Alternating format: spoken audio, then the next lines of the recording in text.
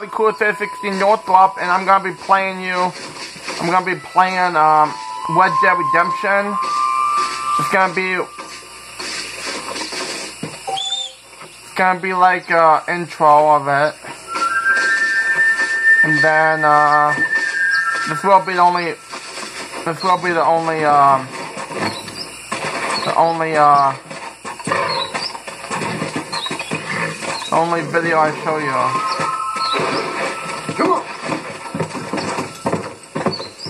So yeah, you'll know what. Now, in order to pick out your gun, triangle one, draw, and then uh, weapons.